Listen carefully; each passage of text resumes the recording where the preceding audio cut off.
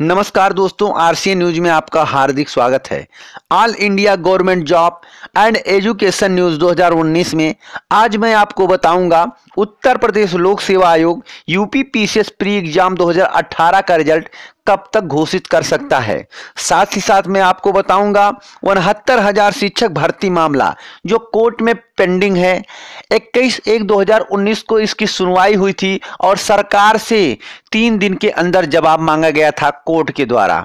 सरकार क्या जवाब लगाने वाली है? सरकार का रुख क्या है? आज मैं आपको बताऊँगा विस्तार से। साथ ही साथ मैं आज आपको बताऊँगा उत्तर प्रदेश अधीनस्थ सेवा चयन आयोग द्वारा युवा विकास दल अधिकारी का रिज़ल्ट कब तक घोषित किया जाएगा? सबसे सटीक, सबसे पक्की न्यूज़ आज मैं आपको बताऊँगा।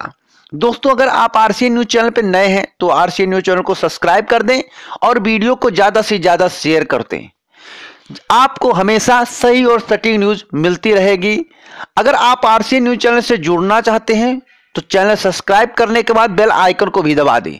जिससे हम कोई भी वीडियो अपलोड करें आपसे संबंधित तो उसका नोटिफिकेशन आपके पास सबसे पहले पहुँच जाए। दोस्तों, आइए जान लेते हैं, उत्तर प्रदेश लोक सेवा आयोग, यूपी पीसीएस प्री एग्ज़ाम 2018 का रिज़ल्ट कब तक घोषित करेगा? जैसा कि आप सभी जानते होंगे, उत्तर प्रदेश लोक सेवा आयोग ने जो पेपर कराया था, उसकी आंसर की जारी कर दी गई है। लेकिन अभ्यर्थियों द्वारा कुछ प्रश्न पे ऑब्जेक्शन थे कि ये प्रश्न गलत हैं।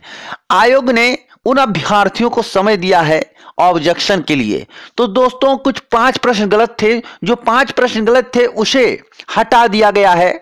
अब उसके नंबर अभ्यर्थियों को दिए जाएँगे या सभी अभ्यर्थियों के उतने नंबर काट लिए जाएँगे जितने प्रश्न गलत हैं। वह तो आयोग के ऊपर निर्भर करता है कि आयोग इस पर क्या निर्णय लेता है। तो दोस्तों, आइए जान लेते हैं, उत्तर प्रदेश लोक सेवा आयोग यूपी पीसीएस प्री एग्ज़ाम 2018 का रिज़ल्ट कब तक घोषित करेगा?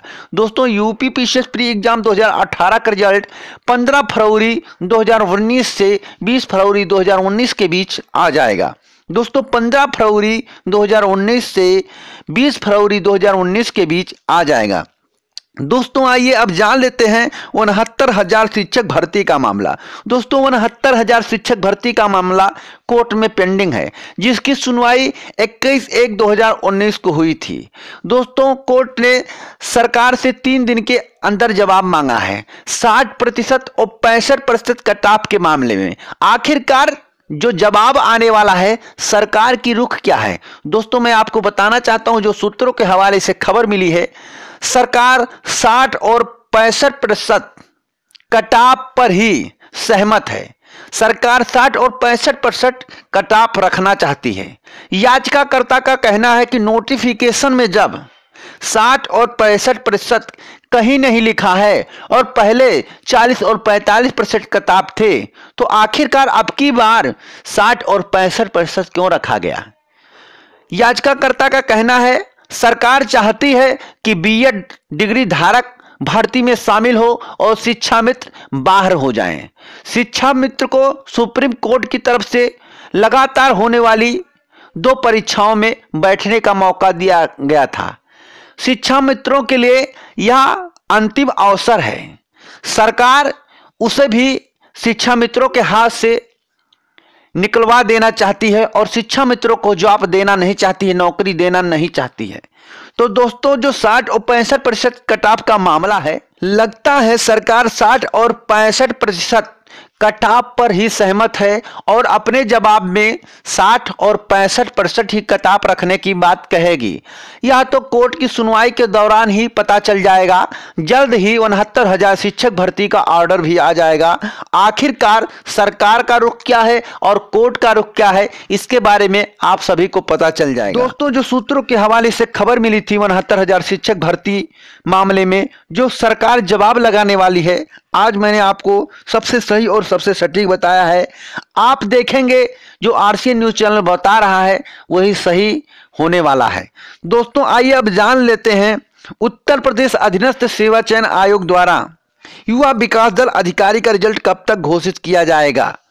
सबसे पक्की न्यूज़, सबसे सटीक न्यूज़। बहुत से न्यूज़ चैनल वाले, हम भी आपको बताए थे, मैं भी अपनी गलती स्वीकार करता हूँ, मैं भी आपको बताया था कि रिज़ल्ट इतने तारीख से इतने तारीख के बीच आ जाएगा। और बहुत से यूट्यूब चैनल वाले तो दिसंबर में ही कह रहे थे। तो दोस्तों, आज मैं आपको सबसे सही और सबसे सटीक न्यूज़ बताने जा रहा हूँ। दोस्तों, युवा विकास दल अधिकारी का रिज़ल्ट फरवरी के सेकंड वीक में आने वाला है। आठ से पंद्रह के बीच युवा विकास दल अधिकारी का रिज़ल्ट घोषित कर दिया जाएगा। यह सबसे पक्की और सबसे सटीक न्यूज़ है। आठ फरवरी से पंद्रह फरवरी के बीच युवा विकास दल अधिकारी का रिज़ल्ट घोषित कर दिया जाएगा। दोस्तों, अगर आपको इसी प्रकार की सही और सटीक न्यूज़ चाहिए तो इस वीडियो को ज़्यादा से ज़्यादा शेयर करें।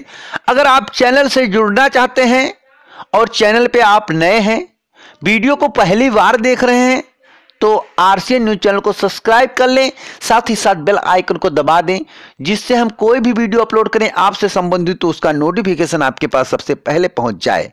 अगर आप चैनल को सब्सक्राइब करेंगे तो आरसीएन न्यूज़ चैनल के साथ आप जुड़ जाएँगे।